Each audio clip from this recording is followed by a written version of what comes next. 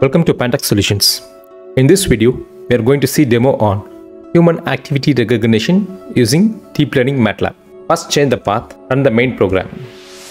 GUI demo is the main file. Once you run the program, the graphical user interface pops up.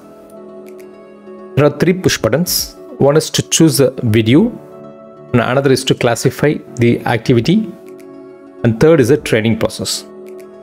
Initially, you have to do training first. I'm not going to do training as it's going to take more time. I have a folder called dataset here, which I have four classes push up, run, sit up, and walk. And there are nearly around 20 videos for each and every class. When you click training, so it gets a video from the dataset and it trains. I'm going to choose the video, browse video,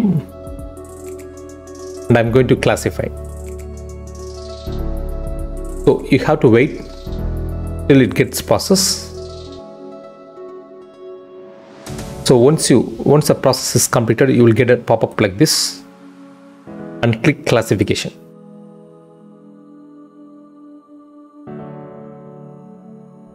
So the output will be displayed on the edit text. I'm going to choose one more video, browse video, and I'm going to you have to wait till you got the pop-up called process completed. Once you get the pop-up then click classification. So the output will be displayed on the edit text. If you want to buy the source code or if you want to modify the source code you could reach us by clicking the link in the description box. Else you could send a message to the whatsapp number. Thank you